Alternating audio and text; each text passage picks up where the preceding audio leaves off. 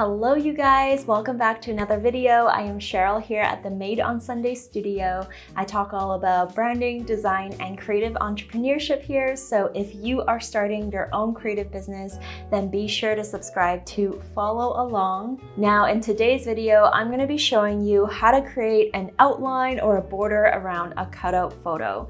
This can be used for, you know, social media image or blog images, and it's a very popular way, especially actually actually for YouTube covers to make the person more stand out in front of the background. So let's head into my laptop and get on Canva to learn how to do this. It can be a little bit tricky to find exactly where to do this, um, but once you learn it, it's super easy. So let's head to my laptop now. Welcome to my laptop. I am logged into my Canva account right now.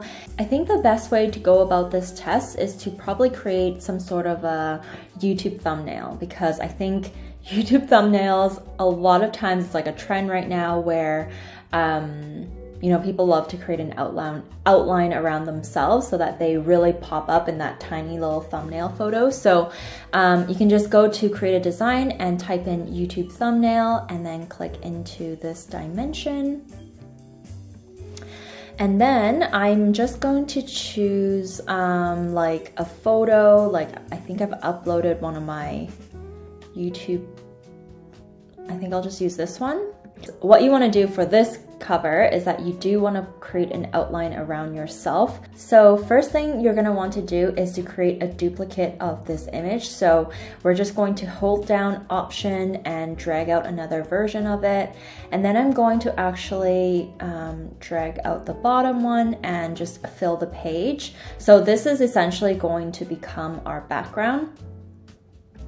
And then I am going to make this one bigger, not big enough to fill in the whole space because, uh, well, it will actually fill up the whole thing and it'll be, you wouldn't be able to edit the image. So I'm just going to make it big enough where I want it to be that size um, without, uh, going all the way. You're going to click on your top image and you're gonna click on edit image and then what we want to do is to remove this background. So I'm gonna go to the background remover and click on that. If you never use a background remover, um, then you will want to make sure that you download the background remover um, before you start. And then if all looks good, you can just click on apply and then I'm just going to remove some of this background here because it's irrelevant. So now you have like basically one version of this image on top that has no background and then one image of it that has the background. So I'm just going to uh, resize it to fit on top of the bottom one. So this is what I ultimately want it to look like. Now we are going to go down to shadows and I'm gonna click on the glow feature. Um, and then I'm gonna click on edit and I'm gonna choose the border outline color that you want. So I particularly want white and I'm gonna increase the size of it. As you increase the size, you're gonna kind of see it come out. So right now it's more of like a glowing effect, but we want an like a blunt outline. So I'm gonna turn up the transparency to 100 and then turn down the blur to zero. Now I do think blur of zero makes it a little bit like unnatural looking. So I tend to like to kind of make it like two or three to make it just look like it blends in with the photo a little bit better. And if you like how that looks, you can click on apply and you have an outline. There you go. So it's just as easy as that to create this outline effect.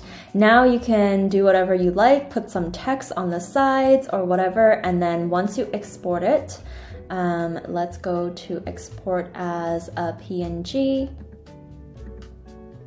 I'm gonna click on download. And then let's open the image and see how it looks. So there we go. Now we have a white outline. By the way, when you were um, editing this uh, shadow image, you can definitely change it to whatever color you want. Like this can be a black, pink, yellow, whatever you want. But I particularly like using white just because I do think it stands out against most backgrounds. So definitely choose whatever color you like, maybe one of your brand colors. But for me, I tend to like white. So use this technique for your um, for your YouTube thumbnails, for your blog covers, for your Instagram posts, wherever you want to create this kind of cool border effect around yourself. All right, that's it. And that is it, you guys. I hope you enjoyed the tutorial. And if you did, be sure to give it a thumbs up and a subscribe. By the way, if you really enjoyed this tutorial, you're going to love my Skillshare class, Canva Basics, Launch Your Creative Business.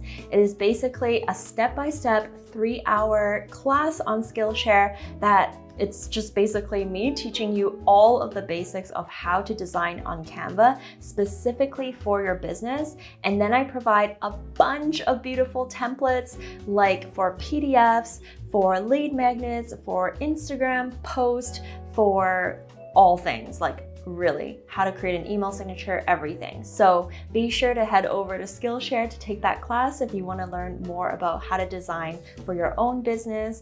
I'm going to put the link in the description below for my 30 day free trial. So you can basically take the class for free today.